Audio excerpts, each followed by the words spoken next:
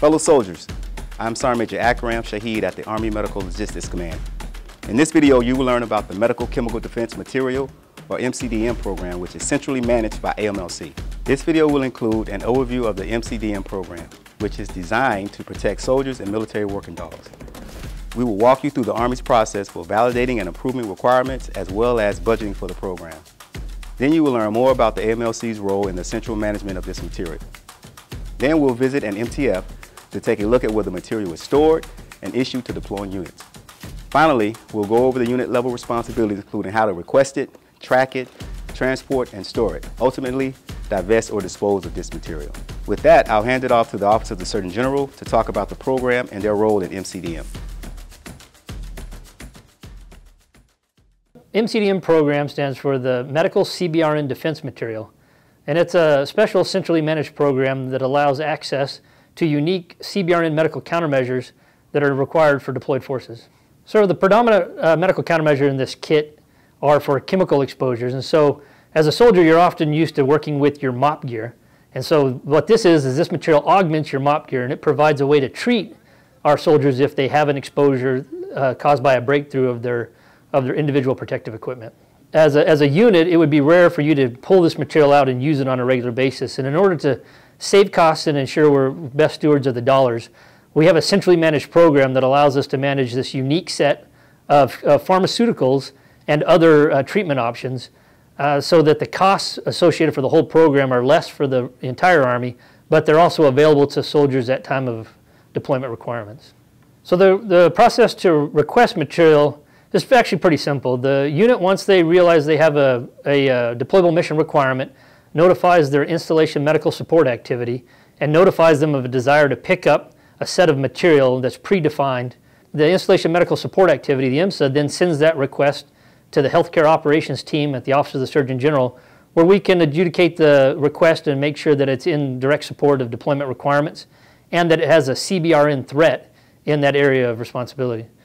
So once that happens, we approve the request and then the installation medical support activity issues the material to the unit prior to deployment. I think the, the hardest part for soldiers is just unfamiliarity with the equipment as it's listed on their, on their MTO documents.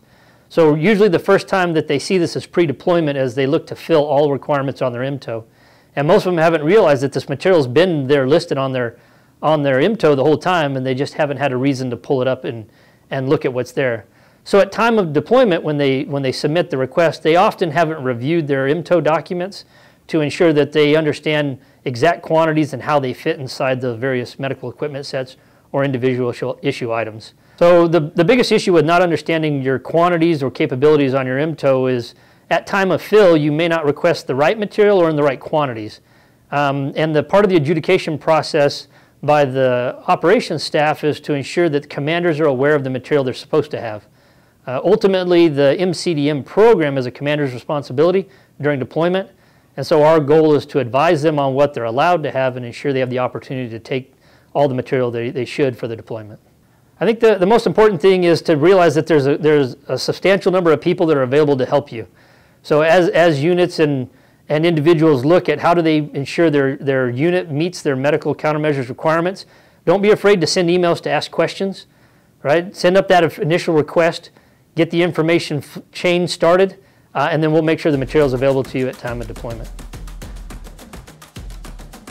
OTSG owns and releases MCDM material.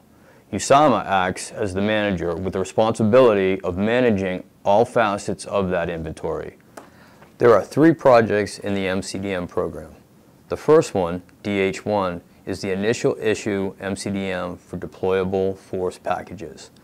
The second is DH5, potency and dated MCDM for the MES, chemical agent patient treatment and decontamination in the entire MES chemical patient protective wrap. The third is Y3R1, Initial Issue MCDM for Defense CBRN Response Force, which is initial issue of potency and dated CBRN items for the medical equipment set, chemical agent, patient treatment, and decontamination, an entire MES chemical patient protective wrap. Unit leaders should have a clear understanding that MCDM material is available through the supporting SSA MTF, IMSA, or TLAMM once the request is approved by OTSG. Once material is issued to the unit, material is now owned by that unit and no longer a part of the inventory. Communication is paramount with their higher headquarters and the supporting organization. The earlier and clearer the communication about unit needs for MCDM, the more likely it is that the process will go smoothly and that the needed material will be at hand for Army personnel when needed. I'm Sergeant First Class Aridelis Gray. I'm the program manager for the Shelf Life Extension Program. SLEP is just an extension program that works with other materials. In this case, will be MCDM. FDA look at the, uh, the materials that we have on hand. They look at the lot numbers and they look at the quantities that we have on hand. FDA looks at it, okay, this is worth testing because we have enough on hand. Then the FDA goes ahead and tests that lot number. They test the item and they make sure that it's still accurate, that this item could still do what it's supposed to do, right? It's effective for the soldiers downrange. And normally the extension could be two, th three years depending on the item itself. So it's very important the units ensure that they put their items, everything that they receive from MCDM needs to be in their system, whether this is DMLSS, DCAM, or TEWLS, because this is what gets reflected um, in JMAR for accurate information. And then once we receive this accurate information, when this information is in JMAR, then this is how to be a, um, eligible for SLEP testing and for SLEP label. So SLEP is important because it gives you a sense of security, right? Now you know, okay, this item does work, right? So in the event of a CBRN attack, you're able to put this auto injector and be like, you know what, I'm going to be safe because this has been tested.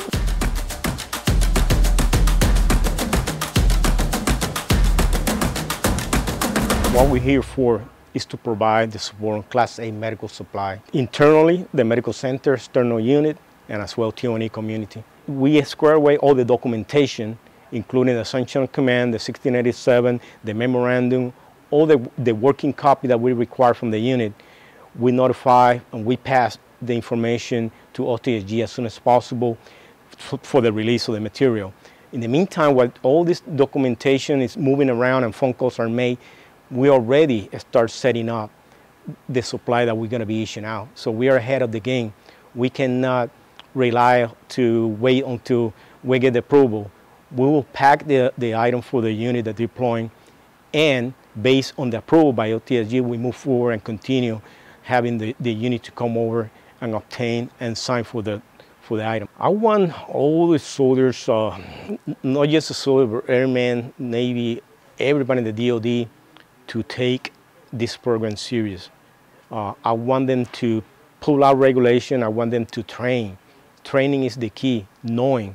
Because when you go to an unknown scenario and you had not done your homework, uh, you're going to fail. I don't wish that we're going to be in that situation, but we have to be prepared. That's why uh, we have this program. It's for the safeguard of the nation, safeguard of the soldier. I mean, just think about soldier in the foxhole Uh, in MOPP gear, ready to, to defend the nation, and we have to make sure that if we're under chemical, biological, we can survive. We, we can operate and survive.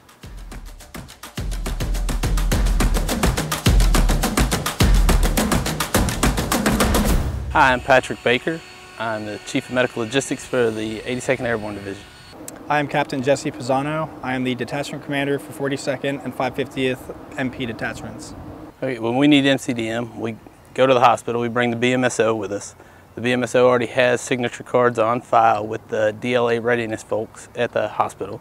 Our handlers are going to go on a deployment. Um, they go to the MTF to draw their MCDM. We do have soldiers that are on the IRF uh, mission. Um, they, if they have their orders ahead of time, they can actually pick up that initial issue earlier. We show up there with some trucks and they sign for it. It's already prepackaged, ready to go because we will have already provided them all the MES cases and tri-walls they need. So once our unit is issued MCDM, it's our job to maintain that within our inventory um, until after the deployment, and then they go through the proper commander's procedures to dispose of those items. So if it's not used in theater, we generally turn it in through the Class 8 system. So we will send it in with all of our unused Class 8. We do have the ability to bring it back with us and turn it in through the IMSA, but that's extra cargo space, so we don't do it unless we're told we have to. There is also the option of handing it over to the next unit. Um, if we're being replaced, that's generally what we'll do because there are shortages of the auto injectors, so that way they get passed on instead of just turned in and destroyed. The MCDM is a great program to have. It helps with our readiness, and it's great for us to be able to pull from that prior to, to deployment. If it's needed, it is highly necessary. There's no other way to treat and to protect these soldiers without it.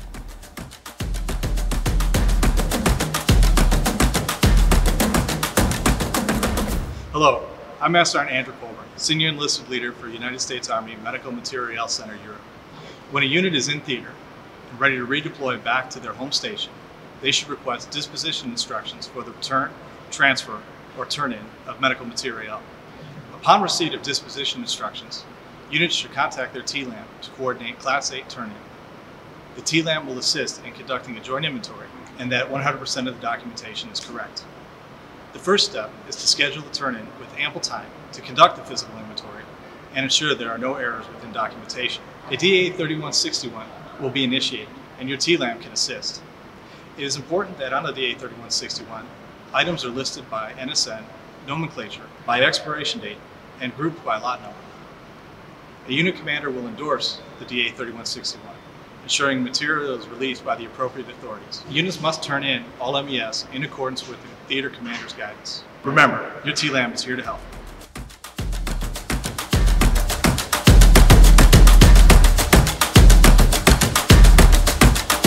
Thank you for watching our training video on the MCDM program.